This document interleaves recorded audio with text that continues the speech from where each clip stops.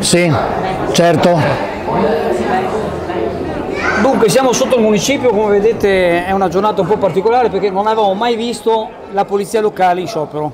Questa Eh. è una cosa che un po' ci dispiace ovviamente perché noi tra l'altro su Chioggia Azzurra proprio qualche giorno fa una signora nei vari commenti ha detto ma su Chioggia Azzurra non troverete mai critiche verso la polizia locale ed è così, noi la polizia locale la sosteniamo perché, ehm, non so, mi permetto il tu, sono stato anche consigliere comunale, ho sempre visto che il corpo della polizia locale purtroppo non era tenuto come era, deve essere tenuto, quindi le critiche che a volte vengono dalla popolazione, a mio avviso bisognerebbe capire meglio i problemi che ci sono. Oggi spiegaci, tu sai che cosa rappresenti, ci spieghi cosa Certo, ti io presenti? sono il segretario generale della WIL FPL del Veneto, ma eh, questo lavoro l'ho fatto per tanti anni, ho fatto 21 anni di Piazza San Marco, poi ho intrapreso l'attività sindacale, ma fino al mio ultimo giorno ho sempre avuto in tasca il tesserino della Polizia Locale di Venezia, per cui conosco bene questo mestiere, conosco le difficoltà e conosco il valore di questo mestiere, per cui credo di poter parlare con cognizione di causa. Chioggia è una bellissima città, la nostra piccola Venezia, chiamiamola così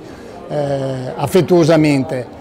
Io credo che i cittadini di Chioggia, tutta la città di Chioggia abbia il diritto di avere un servizio della polizia locale di eccellenza. Questo purtroppo a volte non avviene, ma non per colpa degli operatori, che sono tutte delle bravissime persone e, e- e ci mettono l'anima e fanno delle cose che vanno anche oltre quello che è il loro, il loro dovuto. Però eh, sono gestiti malissimo, l'organizzazione è, è Però pessima. scusa se, cercando, Certo. scusa non ti voglio Certo.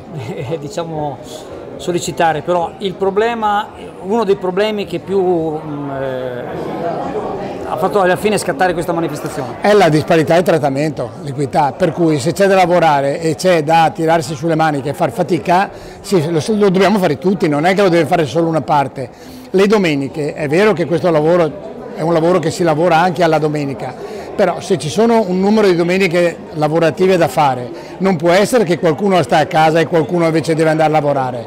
E questo è quello che ha permesso il comandante in questi anni e che ha peggiorato ultimamente. Non può essere che un corpo di oltre 40 persone metà sia in ufficio e metà solo in strada, perché cer- cercate in tutti gli altri comuni, piccoli, grandi, medi, se, trovate, se troverete mai una situazione, una situazione del genere. È la disorganizzazione più ta- totale, sono anni che andiamo avanti. Questo era un comando che ultimamente abbiamo qualche posizione diciamo, di comando intermedio, quindi di so- sottufficiali come vogliamo chiamarli.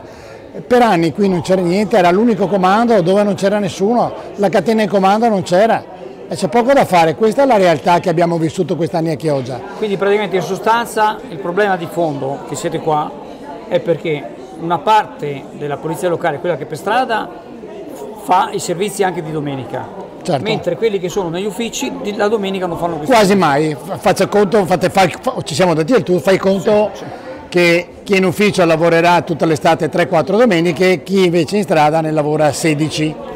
Per cui se invece fosse a divisione è Però, ovvio che... perdonami, ti sì. chiedo, allora, però mi permetto, eh, Certo, no, certo, certo.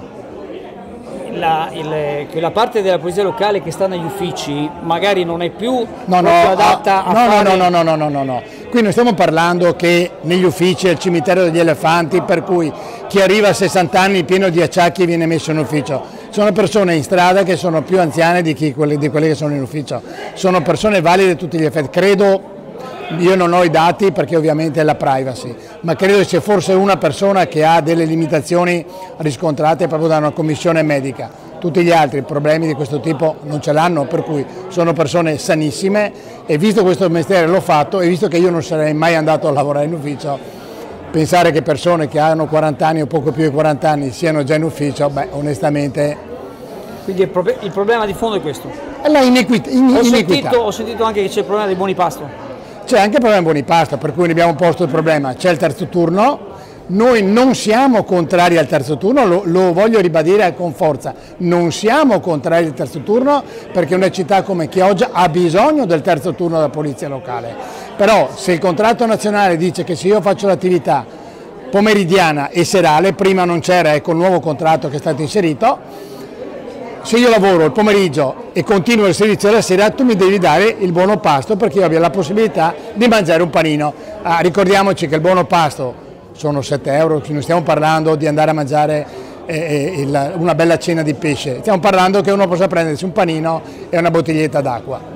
Senti, ma prima di arrivare a questa manifestazione non avete provato a parlare, a venire Certo, insomma, certo, allora io rappresento la WIL, la WIL per sua natura è un sindacato che cerca sempre di trovare le mediazioni fino alla morte, cioè anche dopo questo sciopero noi cercheremo ancora le mediazioni, cercheremo un'apertura di dialogo con questa amministrazione. Però se dall'altra parte trovo un muro e gomma, perché il comandante è stato un muro e gomma, quando siamo andati al prefetto si era impiccato sugli specchi, sugli specchi per trovare delle motivazioni per cui non si poteva cambiare questa organizzazione.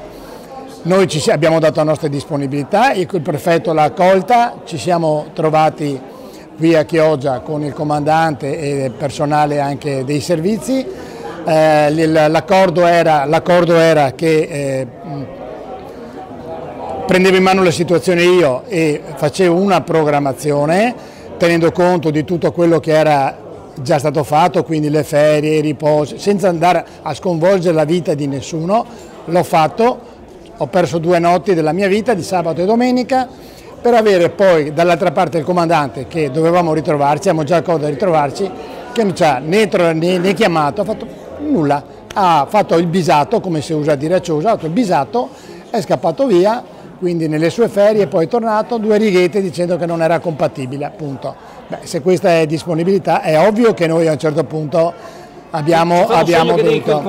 Sì, c'è un collegamento in diretta fra due io minuti. Io mi permetto di dire che eh, al di là delle ragioni, diciamo, che io onestamente l'ho già detto pubblicamente, sostengo questi amici della polizia perché so la difficoltà che hanno mi invito la popolazione a avere un occhio di riguardo verso le forze certo. dell'ordine, in particolare la polizia locale, certo. perché sono sempre in estrema difficoltà, essere su strada non è facile, ci sono tante, tanti problemi e vi assicuro che noi abbiamo dei poliziotti che sono veramente professionali e bravi, non lo dico per piaggeria, lo dico perché lo penso. Esatto, guardate, l'ultima battuta perché poi devo collegarmi dall'altra parte in diretta.